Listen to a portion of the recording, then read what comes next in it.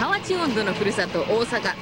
この大阪で未来のラウドネスになることを夢見て日夜練習に励むヘビメタバンドがいます。今日本のヘビメタ界の注目を集めるバンドアイオン。メンバーの平均年齢は23歳。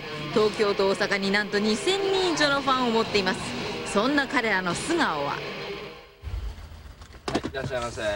ドラム担当のサブリ君はビデオショップで働いています。2530ですはい。どうもありがとうございます。体ヘトヘトになるまでやって持つ人はそれでもいいんやけどもそれは人間別にバンドやってなくたって向き不向きがありますからそういう肉体労働やってヘトヘトになって自分が音楽やっていける余裕が出てくるかどうかっていう判断の上でこういう仕事がしたいと思ったからやってるんですけどね。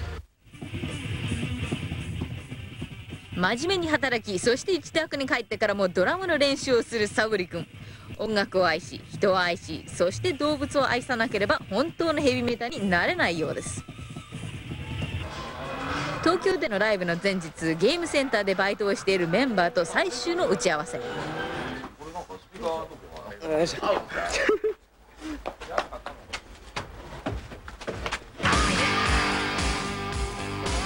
楽器を車に積み込み車は一路東京へ向かいます。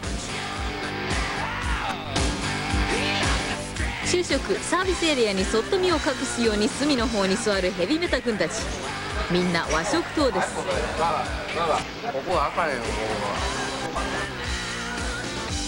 夕方車はヘビメタの聖地目黒の6名館に到着。リハーサルが終わった後本番に備え準備に余念がありません。長い髪をできる限り立たせメイクをする。とりあえず本番終わるまで寝ないように維持するっていうことですね。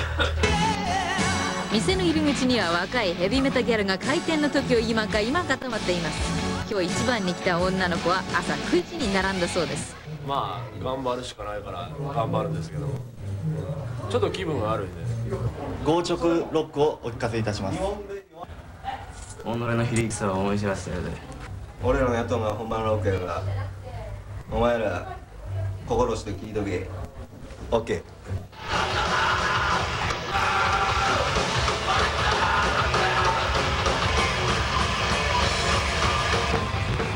お客さんの9割は10代の女の子たち。中には興奮のあまり失神する女の子もいます。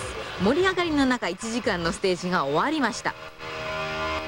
今後このステージ上の動きとかをどういうふうに面白く見せていくかというのが、一つのライブ終了後メンバー同士の反省会が開かれました。思った通りプレイできなかったドラムのサブリ君は不満顔。しかしヘビメタ君たちの真面目な一面を見たような気がしました。客乗せすぎてもあかんねんからな。難しいとこやな。なるほどね。まあ